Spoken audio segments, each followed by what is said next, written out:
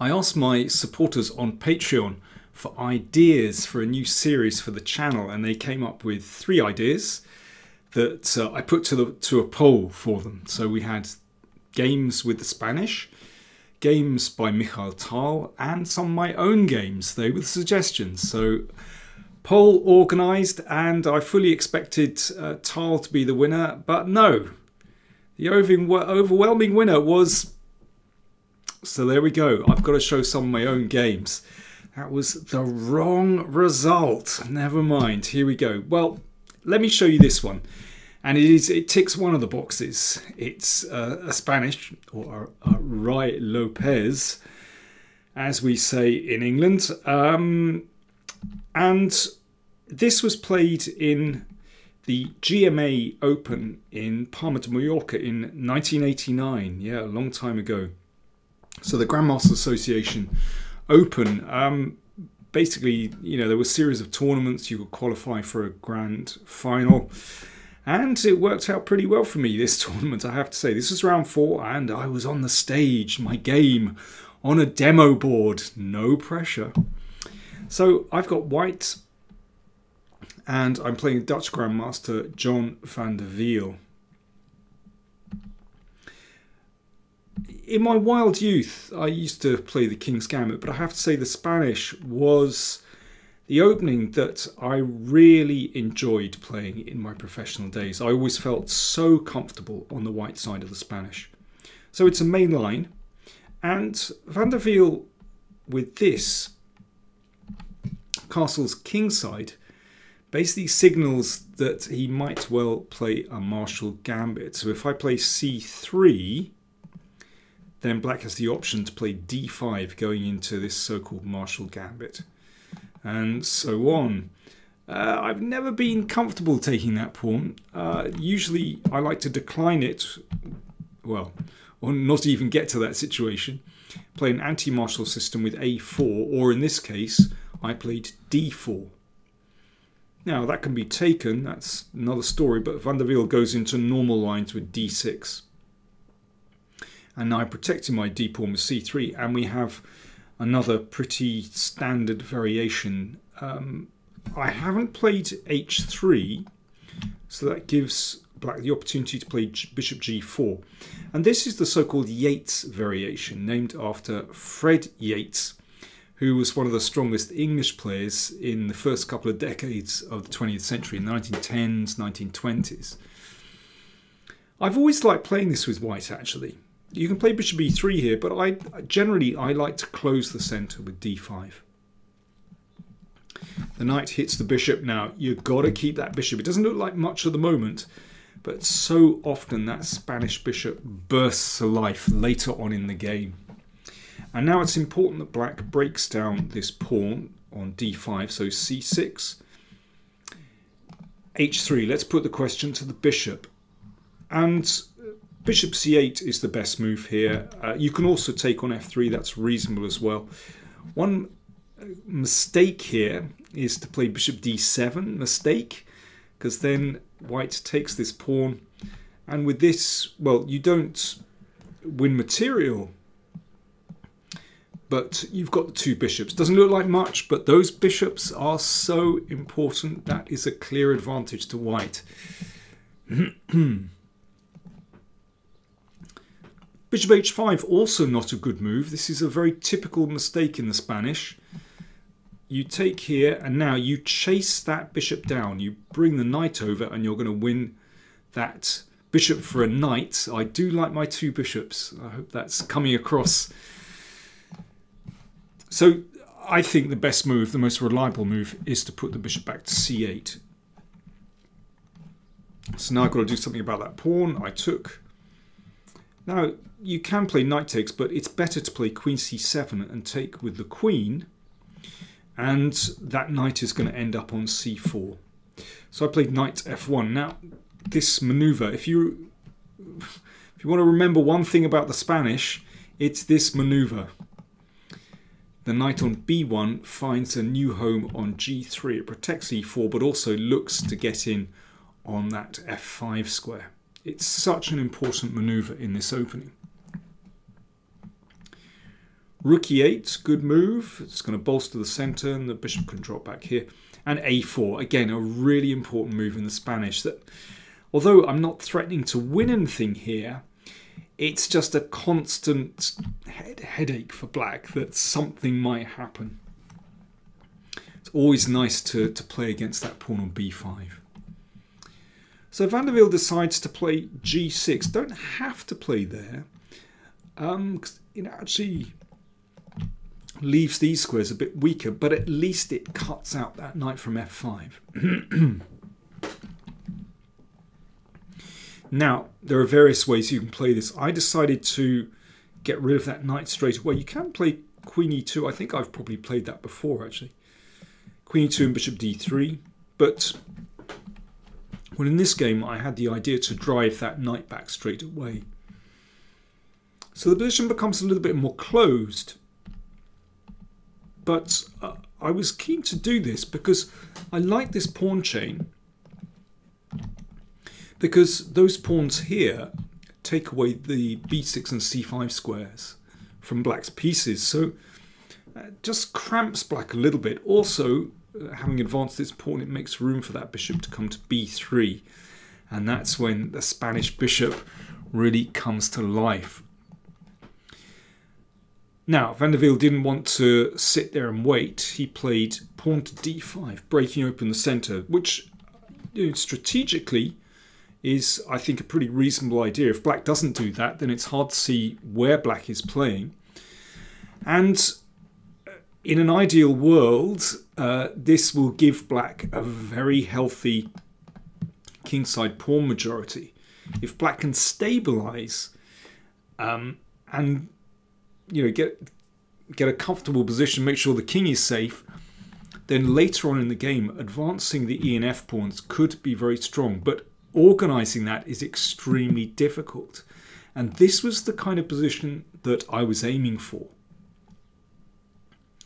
So both sides bring their pieces out, uh, rooks are connected, and king g7, getting the king off that diagonal. Remember that that's a long-term aim to advance this f-pawn. Rook d1. Now if you feed this into the computer, it basically thinks that the position is about equal. But I think from a human point of view, I think this is far more difficult for black to play than white. And the reason I say that is because there are so many tricky tactics in the air. so, for example, there's potential pressure on the e-pawn. You've got to watch out for this uh, battery on the long diagonal. Um, there's you know potential tactics here. Watch out for taking and bishop h6 check.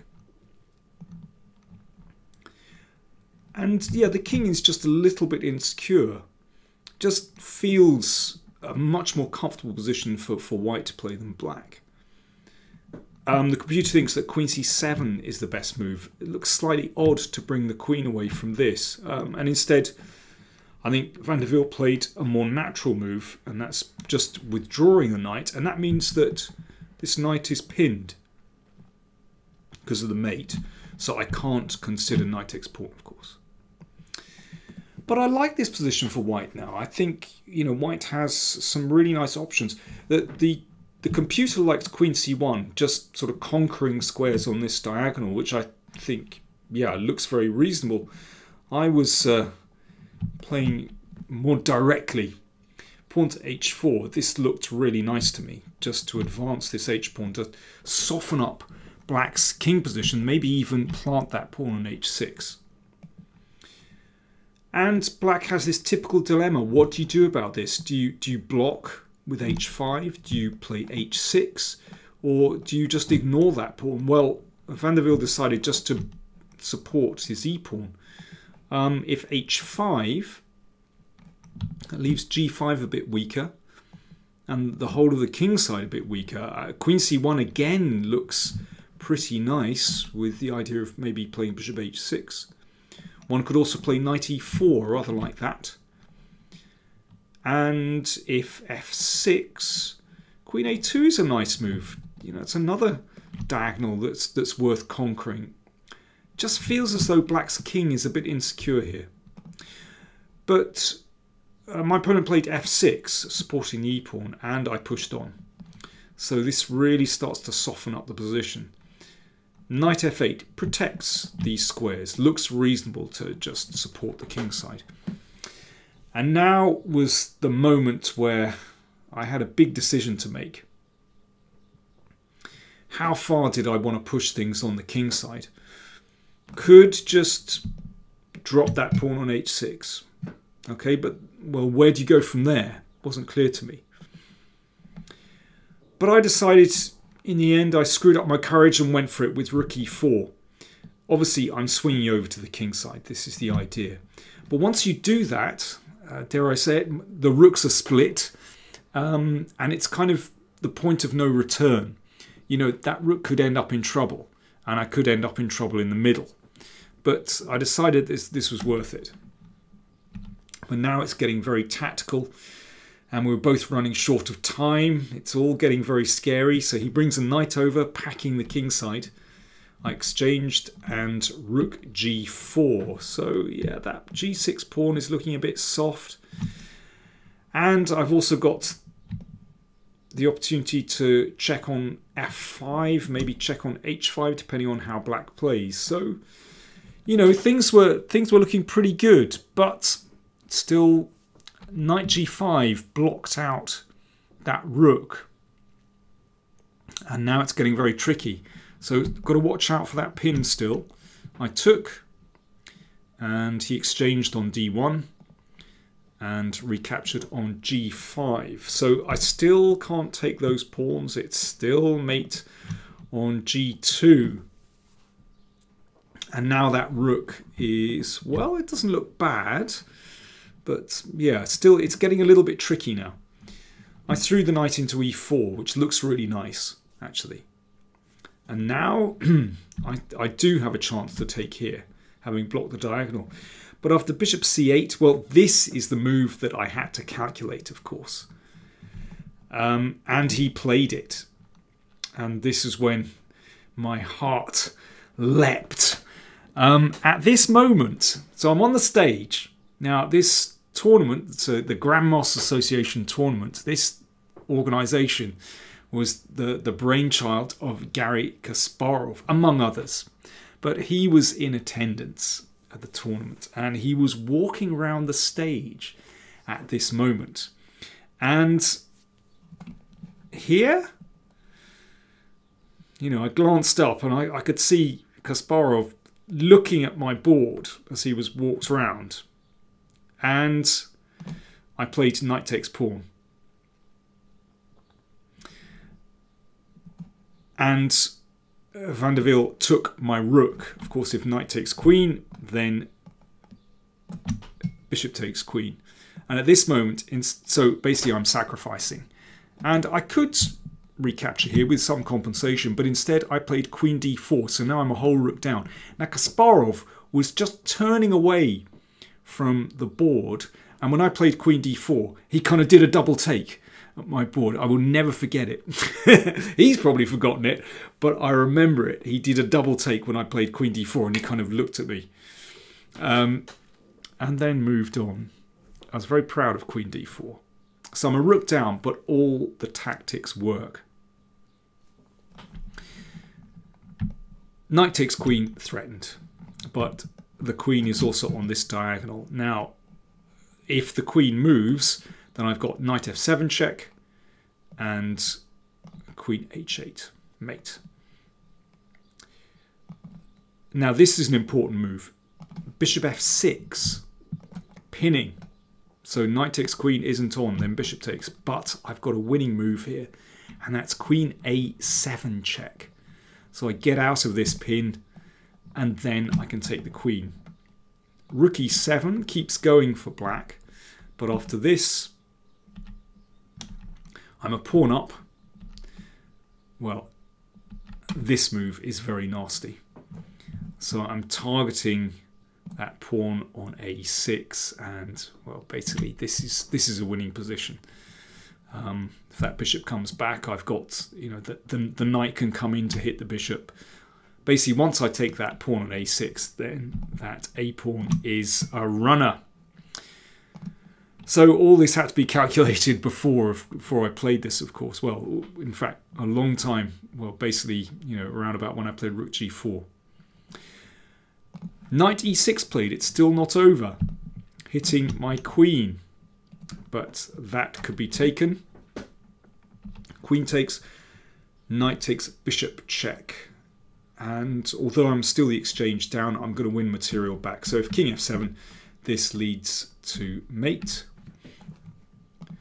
And king h7 played knight f6 so I'm winning back the material here. Now uh, I just repeated the position a couple of times just to make sure that I'd crossed the time control at move 40 and then I took the rook so he's going to recapture this knight um, and then I'm a pawn up in a queen and pawn endgame hadn't quite led to mate, but is good enough. And with this pawn here, that pawn on a6 permanently vulnerable, um, it's best if he takes back immediately. But instead he checked. And now this gives me an immediate opportunity to make progress actually. c4. So with this, I can create a pass pawn, basically. Uh, this is, yeah, it, it's it's too dangerous for black now. Um, I'm breaking through. Queen f8. So I don't want to take uh, too quickly. Got to be careful of this and careful of a check on f4. So I just drop the king back. So he defended the pawn with queen f6, but now b5 just creates that pass pawn. So this makes life very, very easy for white, actually. Pawn takes pawn. So I've got this wonderful pass pawn on a6. And all I need to do is make sure my king is securely protected. Uh, just, you know, I, I shouldn't... I got to be careful of perpetual checks. Um, but once I solve that problem, then everything is fine. My king is secure. There's one last trick here and that is if I hang around in this position there's a stalemate trick. If okay let's play queen d3 then queen takes a6 if I take the queen then it's stalemate. So I've just got to avoid that basically but I can do that by checking. And then queen b7 so the king is now on h6 not h5 if he takes if he takes the pawn I take with check that's the difference and here he resigned there really is no defense, and the queen is in the perfect position on this diagonal. So basically, he can give a check, but you, you'll notice the king is perfectly protected here, and then the pawn rolls home. Well, I was very proud of that game. You know, I really like the attack. I like the, the, the tactics in the middle, and yeah, there was the Kasparov moment which helped, and yeah, smooth technique at the end. One of my favourite games. I hope you enjoyed it.